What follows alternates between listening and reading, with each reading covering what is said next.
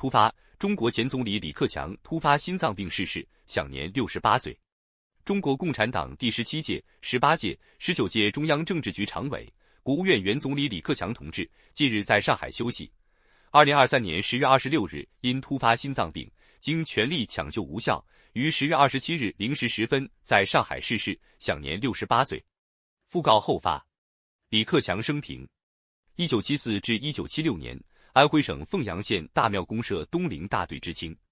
一九七六至一九七八年，安徽省凤阳县大庙公社大庙大队党支部书记，一九七八至一九八二年，北京大学法律系学习校学生会负责人，一九八二至一九八三年，北京大学团委书记、共青团中央常委，一九八三至一九八三年，共青团中央学校部部长兼全国学联秘书长，一九八三至一九八五年。共青团中央书记处候补书记，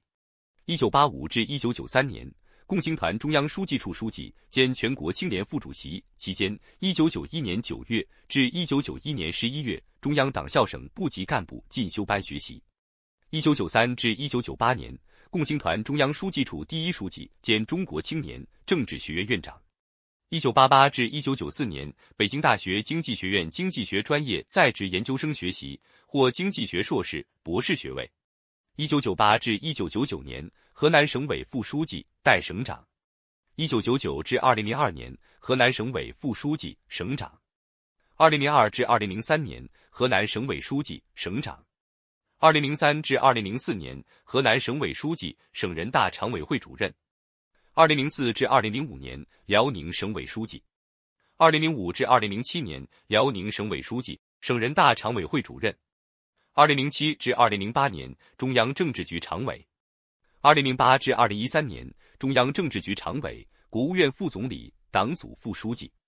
二零一三至二零二三年，中央政治局常委、国务院总理、党组书记；二零二三年十月二十七日零时十分在上海逝世，享年六十八岁。前中国总理李克强因心脏病突发去世。中国官方当地时间周五十月二十七日宣布，原中共政治局常委兼国务院总理李克强去世，享年六十八岁。中国官媒说，李克强近日在上海休息，十月二十六日因突发心脏病，经全力抢救无效，于十月二十七日零时十分在上海逝世。正式的讣告后将随后发表。李克强在二零一二年的中共十八大成为仅次于最高领导人习近平排名第二的中共政治局常委，并在第二年成为总理。当时曾有洗礼体制的说法，但实际上习近平独掌大权，并在二零一八年修改宪法，废除了国家主席的任期限制。在二零二二年的中共二十大上，习近平实现了党的总书记的三连任，随后在二零二三年实现国家主席三连任。而李克强则在任职两届之后，于去年中共二十大上卸去了党的领导职务，并在今年三月卸去总理职务。李克强毕业于北京大学，毕业后留校在共青团委工作，后来进入共青团中央。他被认为是团派人士，而且擅长经济工作，支持更自由开放的市场经济。但是他最终屈从于习近平强调共产党控制的立场。二零二二年三月十一日。李克强在一次记者会上说：“无论国际风云如何变幻，中国都会坚定不移地扩大开放，长江、黄河不会倒流。”今年二月，即将卸任的李克强在会晤时任联大主席、匈牙利外交官乔巴科勒西 c h a b a k o r o s i 时又说：“无论国际风云如何变幻，中国都将坚定不移走和平发展道路，坚持改革开放基本国策。”李克强在二零二零年一次记者会上的一番话也成为他的名言。他说：“中国有六亿人，每个月的收入也就一千元。”这番话引发了有关中国的贫困以及贫富不均问题的辩论。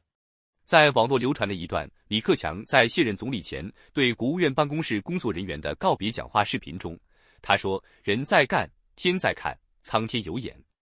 这段话也不胫而走。李克强的原意似乎是指当时阳光明媚，仿佛是苍天在奖励他手下的工作人员。然而，网友们纷纷说这是在影射习近平。